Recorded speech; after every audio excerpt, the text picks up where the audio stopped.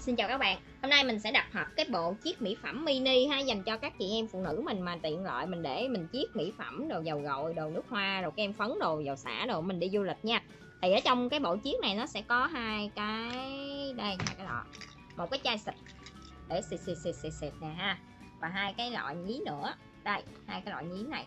Và đặc biệt nó kèm cho chúng ta cái giấy mà để chúng ta à, ví dụ như cái này em đựng uh, dầu gội đầu thì em sẽ viết dầu gội đầu em dán lên còn cái này em đựng dầu xả thì em sẽ viết vào đây, dầu xả em dán lên đó mọi người. Cái giấy giấy để ghi chú thích đó.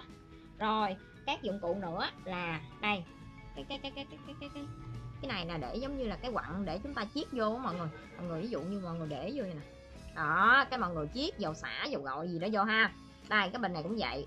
Đó, đây, đó mọi người để vào chiết chiết chiết chiết vào dầu thơm rồi ha. Cái mình đi du lịch mình mang theo như vậy nó gọn mọi người. Tới nơi cái mình chỉ mở cái nắp ra mình xịt xịt xịt thôi. Cái bộ này gồm à, à 5 cái à, chai và hai cái dụng cụ chiết kèm theo. Cái này là cái giá để chúng ta lấy cái cái cái cái, cái kem phấn đồ của mình nè.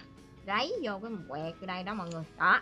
Rồi thì cái bộ này gồm có 5 món mà mọi người biết cái giá nhiêu không? Có 35 nghìn thôi rẻ tao nói sình sình luôn á mọi người rất là rẻ luôn mà em thấy tiện lợi vô cùng. Cái này xài thì bao là trọn luôn rồi mọi người. Không có có có lỗi thời lỗi mốt gì hết mà nó tiện nữa. Cái thứ hai là biết khi nào nó mới hư mọi người.